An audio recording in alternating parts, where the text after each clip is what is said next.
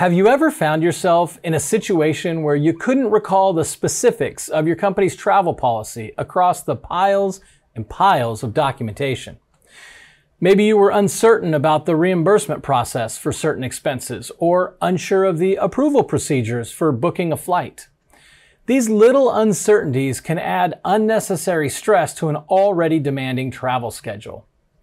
This hits close to home for me because I've actually been in this exact situation. So today, I'm going to show you how I created an Amazon Q app that lets me chat with my travel policy documents. In fact, what I'm going to demo today, while it's geared around the use case of travel policy, can actually help you in a number of different scenarios. And in the demo, I'll show you how. By the end of this video, you'll know how to create an Amazon Q app to address your own use cases. So let's dive in. So the first thing that I'm going to do is go to Amazon Q Business and create an application. And I need to give it a name, so I'm going to call it Chatbot Pro. Then I'm going to scroll down past service access and encryption. I'm going to leave those values at their default and click on create. Now this is just going to take a few minutes to create the app for us, and then it'll automatically move us to the next page of our configuration. Now we need to select a retriever. I'm going to use the native retriever, and I'm going to scroll down and click on create, and then I'm going to select S3. Now S3 is where I'm going to put those documents. I need to give it a data source name. So let's call it my policy documents. And then we need to give it a description. And so let's just type my documents. And then we're going to come down here and give it an IAM role. Now, I'm going to let it create a new service role for me. Then I'm going to browse S3 and I'm going to pick the S3 bucket that I've already put my policy documents in. And this is where you can add any documents for any use case. I'm going to set the run schedule so that it syncs weekly on Sundays. And then we can set the timing for this. we're to say at 4 o'clock. And then we'll scroll down and we'll click on Add Data Source. Now it's going to take a few seconds here to propagate the IAM role. It's about 30 seconds. And then once that's done, we then scroll all the way down to the bottom and click next. Now we need to add our users and groups. So I'm going to click on the add groups and users, assign an existing user. I already have a user in IAM Identity Center. So I'm going to search for that user. I'm going to look for demo user and I'll assign this user the rights to access our application. And then I'm going to come down and click create application. Again, it'll propagate the IAM role. This takes a few seconds.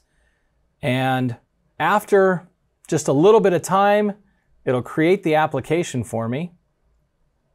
And so we'll just wait for this to update. We can see that it's creating the application. So the button is grayed out and we can see that it's spinning for us right now.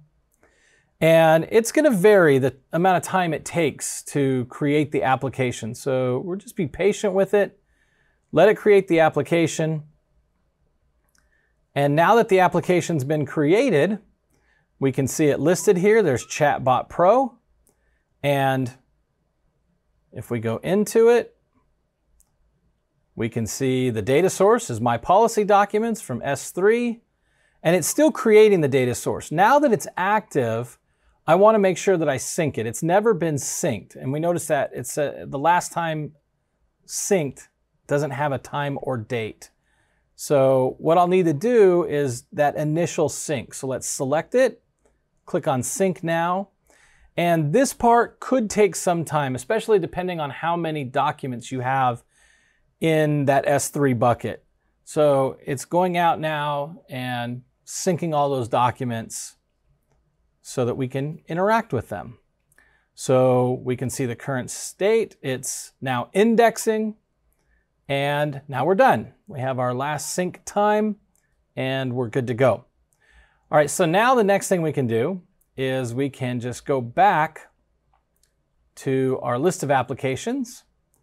And then over here on the right, let's open up the URL. Let's copy that link. We'll just open it in another browser because we're going to need to log in with that demo user that is in IAM Identity Center. So let's open a new browser here. Let's go log in. And we'll put in our username, which it's got for me already. We'll enter our password. And we'll sign in. And once we're signed in, we have our chat interface.